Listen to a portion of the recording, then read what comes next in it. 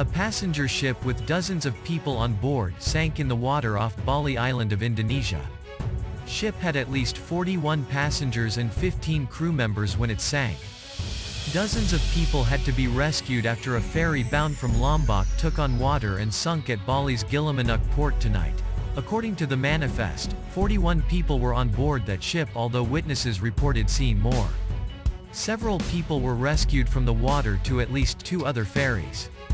Rescue operation is ongoing.